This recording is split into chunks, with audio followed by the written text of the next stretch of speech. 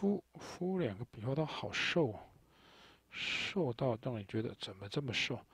然后他竖画是偏左边，撇不太长，那非常的浑厚，我绝对不要把它写弱了。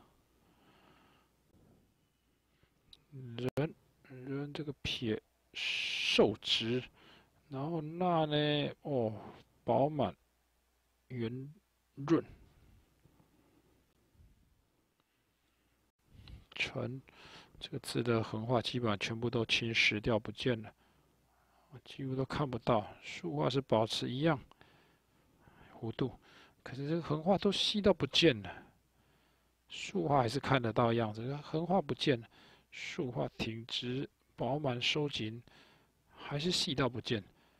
啊，就觉得好瘦。那圆近的直画依然保持如此，这里是不勾的哈。不够就不够嘛，撇捺捺还是要饱满一点点哦，这个不算很饱满的，一点点饱满。卷，导出，啊，次长横，长横次长横，撇挺进，口上宽下窄，收紧，耳朵旁稍微降低。折一下，蛮力的，过来扭转一下，弹上去，然后这边就开始很饱满、很饱满的竖画，但是它会马上收尖的竖画。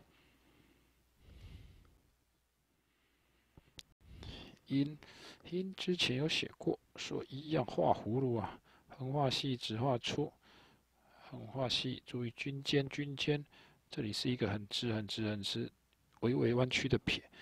这里是一个横画，间隔、间隔、间隔啊，啊，这里会伸出去，再一个直画，好，这里它会写成这样子，哦，跟一般的铁写字不太一样。然后横画可以翘一下，撇短，捺的话它通常会做的很夸张，所以不客气的送出。是，它的撇还是偏平啊。